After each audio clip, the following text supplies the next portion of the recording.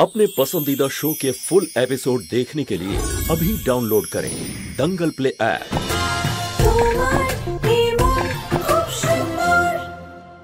তোমার সত্যিটা যখন নিহারবাবু জানতে পারবেন তখন উনি তোমার ছায়াও নিজের ওপর পড়তে দেবেন না শুধুমাত্র ঘৃণা করবেন তোমাকে আর আমি এক্ষুনি গিয়ে নিহারবাবুকে তোমার সব সত্যিটা জানাচ্ছি আমার সত্যি দাই মা পেঁপে খেতে আমার ভীষণ ইচ্ছে করছে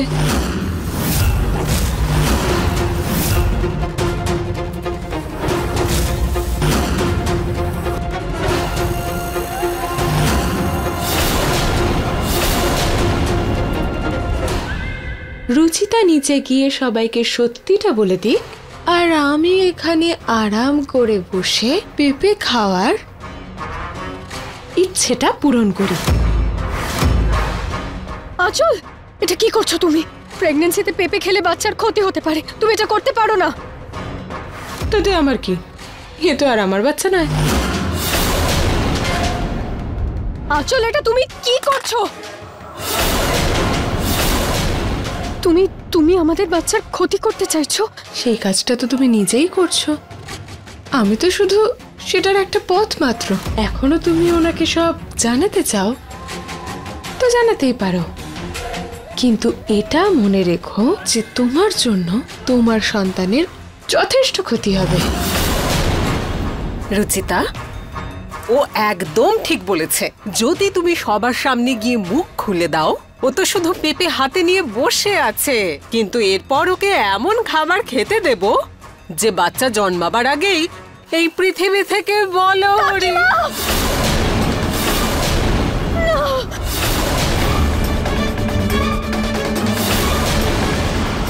যথেষ্ট বুদ্ধিমতী।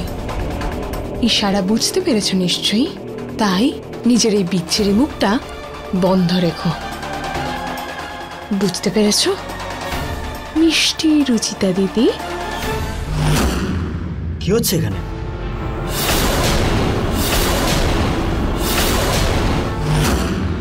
রুচিতা কিছু হয়েছে কি?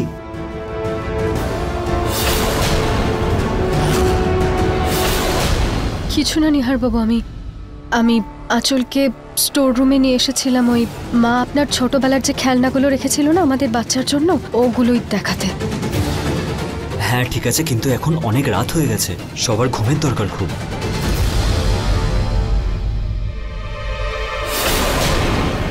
শুভরাত্রি। আসি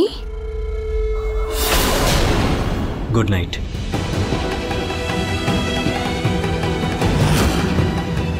চলো যাই রুচিতা। আমাদের সন্তানের কোনো ক্ষতি আমি হতে দেব না কোনো ক্ষতি হতে দেব না। এই কথাটা আমাকে আপাতত লুকিয়ে রাখতে হবে। কি ভাবছ? চলো।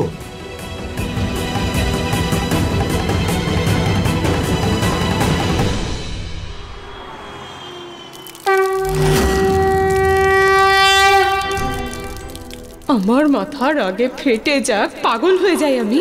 তার আগে রুচিতাকে এই বাড়ি থেকে আর ওনার জীবন থেকে বাইরে বের করতেই হবে।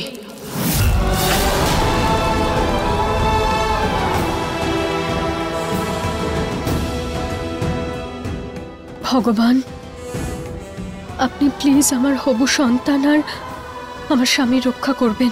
আমি কিছু বুঝতে পারছি না যে আমি কি করব। আঁচলের সত্যিটা কীভাবে সবার সামনে আনব? কি করব কিছুই বুঝে উঠতে পারছি না। প্লিজ আপনি কোনো একটা পথ দেখিয়ে দিন। প্লিজ।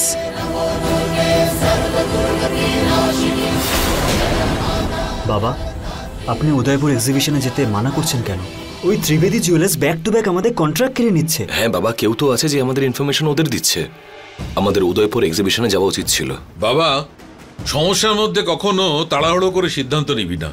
কখনো চিতাকে শিকার করতে দেখেছিস? হুম? চিতা শিকার ধরার আগে দু পা পিছিয়ে আসে আর যখনই শিকার ও রেঞ্জের মধ্যে চলে আসে লাফিয়ে পড়ে। মানে? দেখ এইবারের এক্সিবিশনে তোরা যদি পার্টিসিপেট না করিস, তোদের বিপক্ষদের মনে হবে যে তোরা হেরে গেছিস। কিন্তু পরের এক্সিবিশনে সম্পূর্ণভাবে তৈরি হয়ে ওর নাকের ডগা থেকে সবচেয়ে বড় কন্ট্যাক্টটা নিতে হবে। এই জন্য চিতার মতো একটু ধৈর্য ধরে, একটু পিছিয়ে এসে পরিস্থিতিটা বুঝতে হবে। আর যখনই শিকারটা তোমাদের রেঞ্জে চলে আসবে, একদম লাফিয়ে পড়। যদি হরিণের মতো ভয় পেয়ে একটু এদিক ওদিক হয়ে যায় তবে নিজেই শিকার হয়ে যাবে বুঝলি? বাহ বাবা কি আইডিয়া দিলেন? এক্স্যাক্টলি সেই জন্যই তো তুমি বেস্ট বিজনেসম্যান চল চল মিটিং এ লেট হয়ে যাচ্ছে। হ্যাঁ।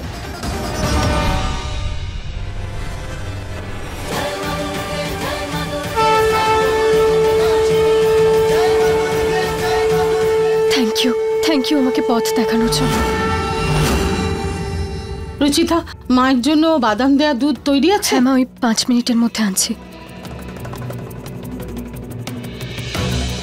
জিজ্ঞেস করতে তো ইচ্ছে করছে না কিন্তু জিজ্ঞেস করেই নি। কি হয়েছে? এত চোখের জল ফেলছো কেন? ওই আমার মায়ের কথা ভীষণ মনে পড়ছে।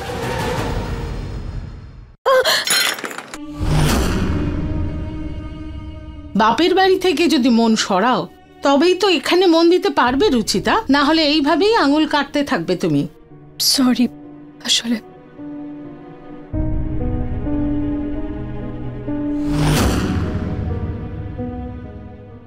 আমার বাদাম দুধটা কোথায় গেল? আমি এখনই রুচিতাকে ডাকছি। রু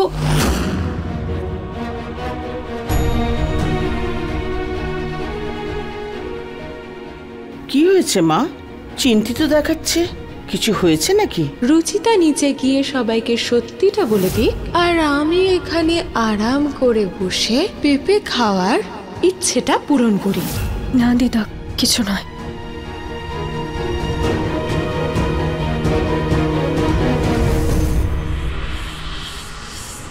ও তো শুধু পেঁপে হাতে নিয়ে বসে আছে।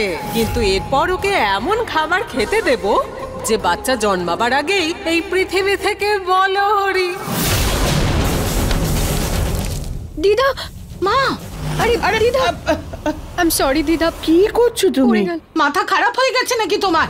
গরম দুধ মার গায়ে ফেলে দিলে?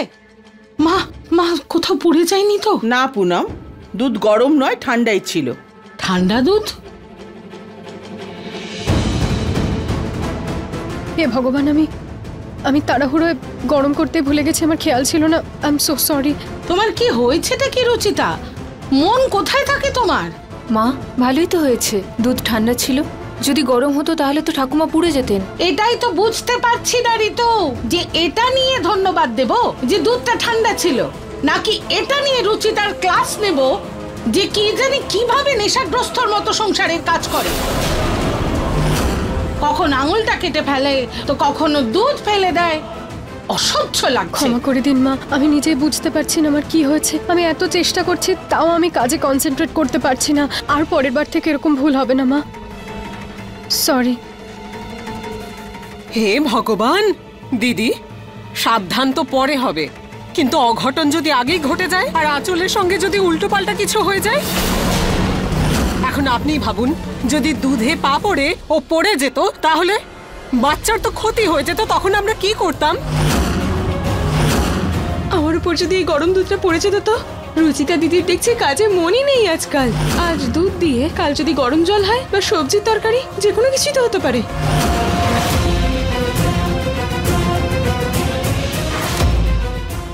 অন্য কারোর অন্য মনস্কতার জন্য আমার মধ্যে এই বংশের যে সন্তান বড় হচ্ছে, তার বিপদ হতে পারে।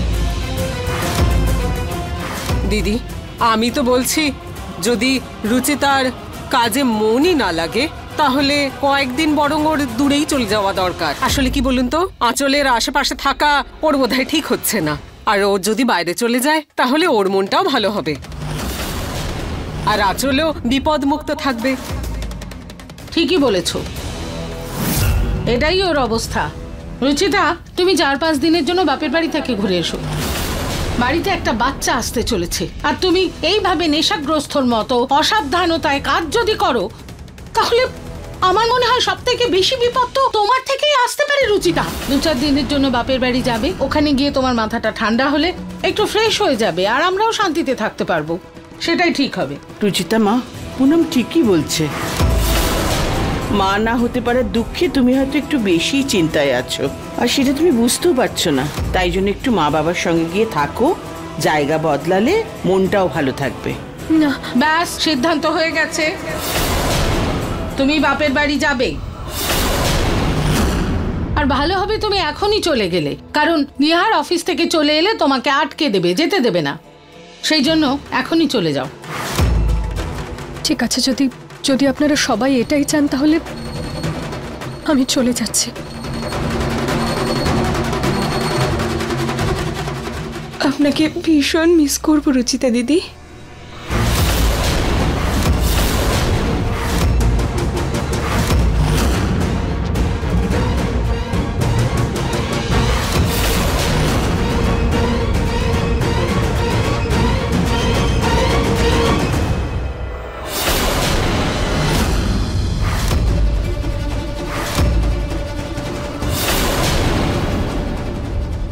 যেটা চাইছিলি? আমি আসা মাত্রই হয়ে গেল সেই জন্যই বলি।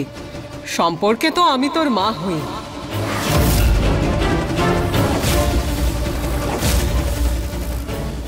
না মানে বলতে চাইছি দাই মা হই।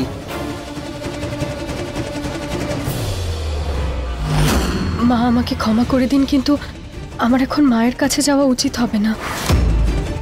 রুচিতা বাপের বাড়ি যাওয়ার কথাই তো বলছি না। দু চার দিন ওখানে গিয়ে থেকে এসো। তোমারও ভালো লাগবে তোমার পরিবারের লোকেরও ভালো লাগবে। মেয়েরা তো বাপের বাড়ি যাওয়ার জন্য ছটফট করে। তোমার শ্বশুর বাড়ির বড় লোকিপনায় এমন অভ্যেস হয়েছে এখন বাপের বাড়ি খারাপ লাগছে। এবার আমি কীভাবে বলি যে কেন আমি যেতে চাইছি না?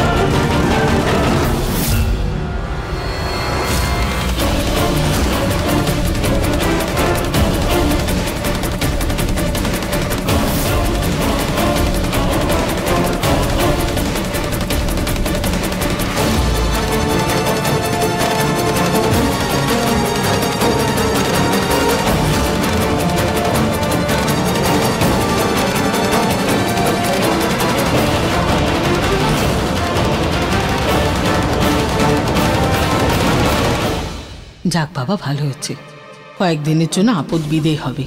আবার নিহারের জীবনে আঁচলকে আনার চেষ্টা করব।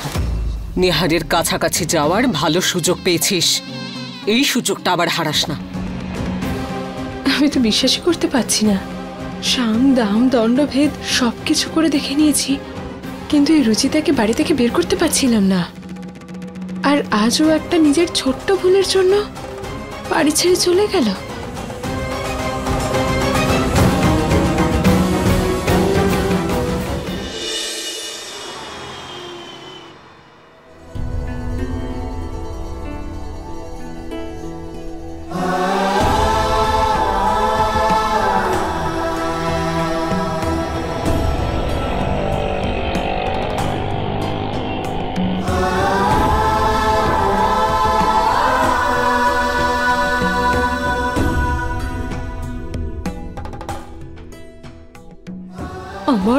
আগে ফেটে যাক, পাগল হয়ে যাই আমি।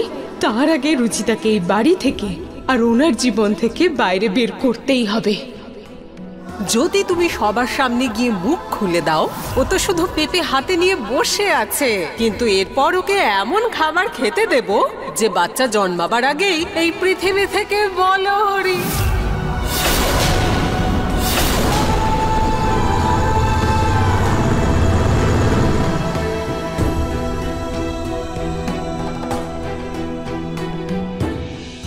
রুচিতা তুমি চার পাঁচ দিনের জন্য বাপের বাড়ি থেকে ঘুরে এসো। বাড়িতে একটা বাচ্চা আসতে চলেছে। আর তুমি এইভাবে নেশাগ্রস্তর মতো, অসাবধানতায় কাজ যদি করো, তাহলে আমার মনে হয় সব থেকে বেশি বিপদ তো তোমার থেকেই আসতে পারে রুচিতা আমাকে রুচিতাকে এই বাড়ি থেকে আর ওনার জীবন থেকে বাইরে বের করতেই হবে।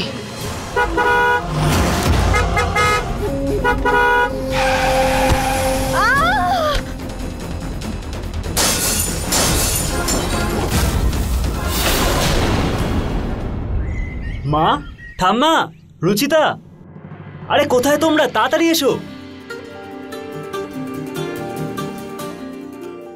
কি হয়েছে বাবা? অনেক বড় কন্ট্রাক্ট পেয়েছি মা। সেই আনন্দের জন্য আমি তোমাদের মিষ্টি খাওয়াতে এসেছি। আরে বাহ বাহ এটা তো ভীষণ খুশির খবর। এই নাও মা। থ্যাংক ইউ বাবা তুমি এভাবেই খুব উন্নতি করো আর এই বংশের নাম উজ্জ্বল করো। Thank you. রুচিতা কোথায়? রুচিতা? রুচিতা কোথায় তুমি? আইসক্রিমটা গলে যাবে। তাড়াতাড়ি এসো। নিহার রুচিতা বাড়িতে নেই। কি? কোথায় গেছে? মার্কেট গেছে নাকি? নিয়ার বাবা ও কদিনের জন্য বাপের বাড়ি গেছে। বাপের বাড়ি? আর সেটাও আচমকা আমাকে না জানিয়ে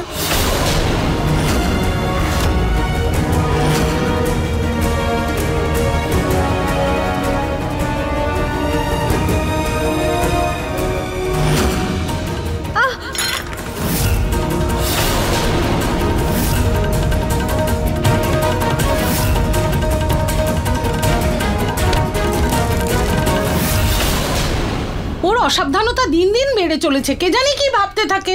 দেখ দেখি যদি তোর ঠাকুমার কিছু হয়ে যেত আর সব থেকে বড় কথা যদি ওর এই অসাবধানতার জন্য আমাদের বাড়ির বংশধরের তোর হবু বাচ্চার কিছু হয়ে যেত তাহলে কি হতো নিহার? হ্যাঁ সত্যি বলছি আমারও ভালো লাগেনি উনি যখন চলে যাচ্ছিলেন। কিন্তু এটা তো আপনার হবু সন্তানের সুরক্ষার প্রশ্ন তাই আমিও আটকাইনি ওনাকে। আঁচল ও শুধু আমার সন্তান নয় রচিতারও সন্তান। আর রচিতা নিজের সন্তানকে এভাবে ছেড়ে যেতেই পারে না। আমাকে না জানিয়ে তো কখনোই যেতে পারে না। ব্যাস নিহার ব্যাস। দু চার দিনের জন্য ও বাপের বাড়ি গেছে। আমরা কোনো জাহান নামে পাঠিয়ে দিইনি ওকে। আর এইভাবে পত্নীনিষ্ঠ হওয়া বন্ধ করে দে তুই। আর দু চার দিন নিজের বউকে ছাড়া থাকা শিখে নে। আমি ওকে ফোন করছি।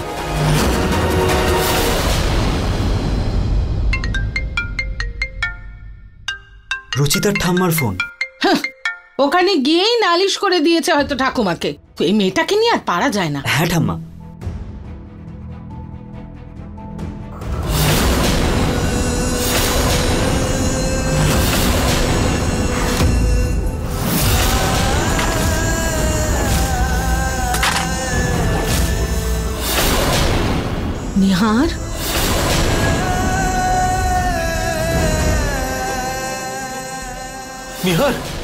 কি হলো তোর?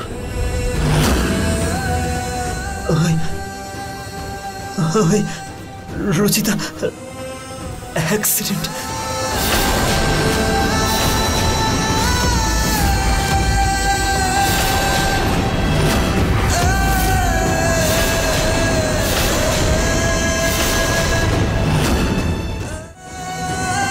কি? আমায় যেতে হবে। নিহার! নিহার ঠাকুমা, চলুন। ভগবানের কাছে রুচিতার সুস্থতার জন্য প্রার্থনা করি। ওর কিছু হবে না। কিচ্ছু হবে না। চলুন ঠাকুমা।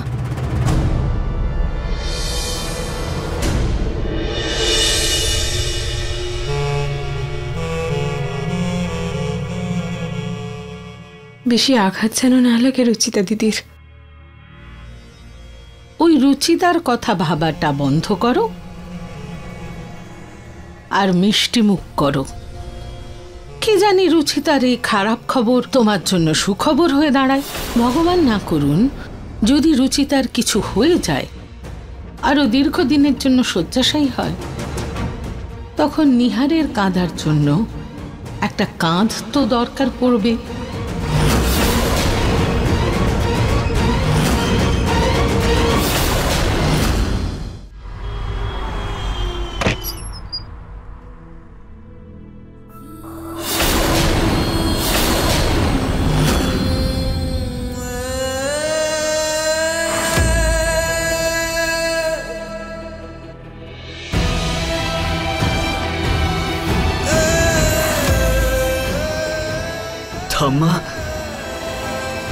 এইসব কি করে হলো? আমি কিচ্ছু জানি না। আমি তো রাস্তা দিয়ে যাচ্ছিলাম তখন সেখানে ভিড় দেখলাম। দাঁড়িয়ে পড়লাম দেখার জন্যে যে কি হয়েছে। তখন দেখলাম আমার রুচি অজ্ঞান হয়ে পড়ে আছে। ডাক্তার কি বলেছে? ডাক্তার বলেছেন যে যতক্ষণ না রুচির জ্ঞান ফিরবে ততক্ষণ কিছু বলা যাবে না। রচিতা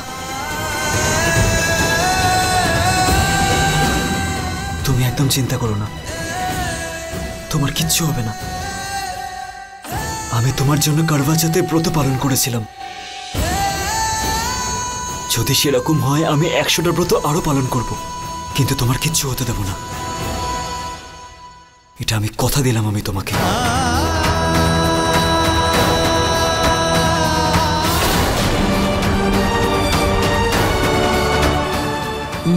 নিহার, বাবা।